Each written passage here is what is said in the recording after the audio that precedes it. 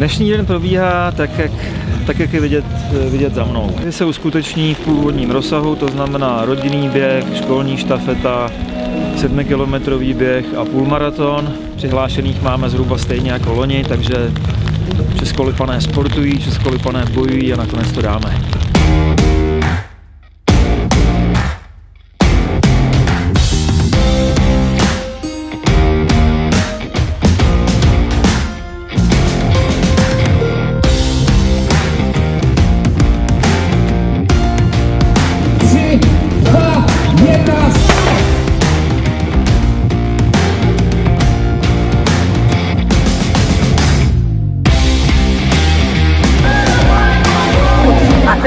Bude velmi zajímavé, opravdu se nám to tady nakonec hezky promítlo.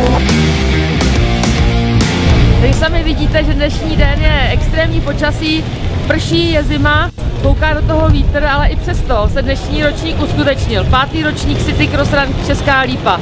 A já jsem velice ráda, protože organizátoři s tím měli plno práce. Každý, kdo dneska doběhne, bude hrdinou tohoto závodu a má můj velký obdiv. singing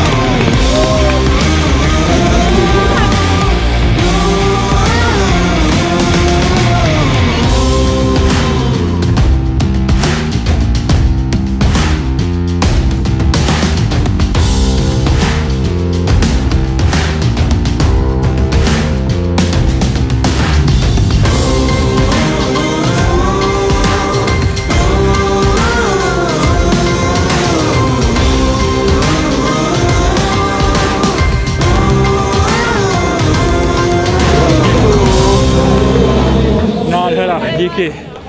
Uau!